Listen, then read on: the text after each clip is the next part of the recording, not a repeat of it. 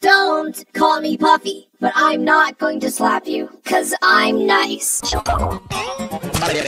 No, you're not gonna slap me because you don't have arms. Whatever.